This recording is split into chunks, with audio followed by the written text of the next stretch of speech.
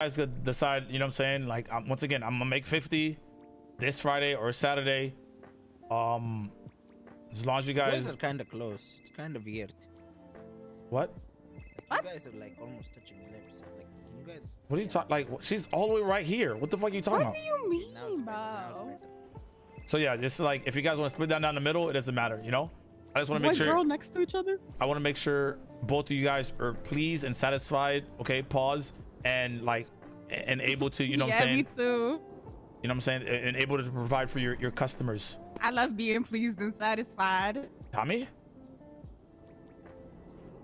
I'm gonna excuse myself. all right.